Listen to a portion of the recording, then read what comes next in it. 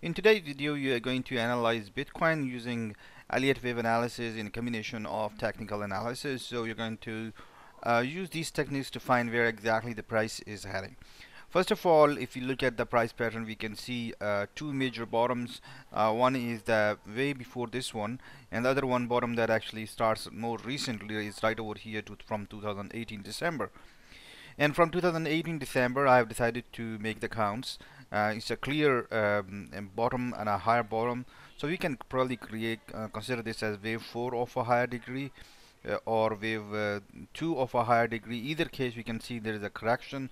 And from this bottom we can consider the wave count uh, since the initial price action have been quite complex. And um, so the reason here is that we can consider this uh, as simple wave 1 and wave 2 and wave 3 uh, now this seems pretty great. Uh, the wave uh, nature uh, seems very uh, close to wave 3 as well. We can see that we have seen wave 1 and wave 3 is uh, as strong as the theoretical analysis says that normally wave 3s are quite stronger as compared to wave 1 and wave 5 and that's what exactly we are seeing.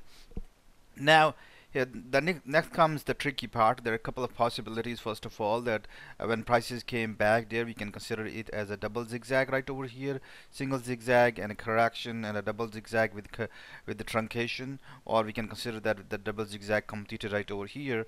In that case, if wave four is completed right over here, this is wave five. That will be the combination. Uh, that will be the end of the five uh, wave structure, starting from right over here. So wave one and wave 2 and wave 3 and wave 4 and wave 5 this is going to be the main count that I'm going to using.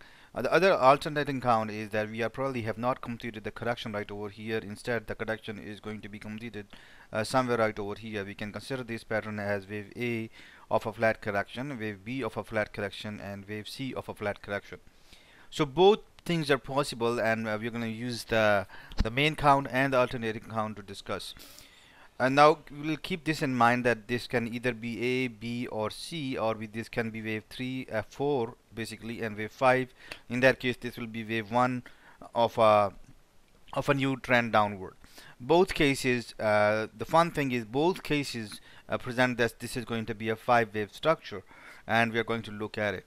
Uh, uh, the only thing is that if this is a five wave structure of a new trend downward in that case when we get the correction even though uh, we can say that wave 2 can be deeper uh, because that's how we have seen that wave 2 are always deeper in correction in, uh, as far as the percentage of the, the previous impulse wave is concerned.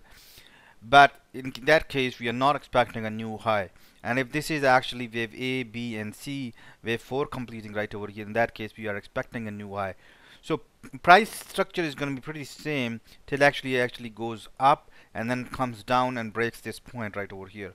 So 28,000, 30,000 is an important point till price actually breaks that. Uh, we are going to assume that a couple of things are going to happen. We are assuming that price is going to make this UV shape either cases whether it's going to be a new uh, trend or it's going to be the uh, new trend downward or whether it's going to be wave 5 upward.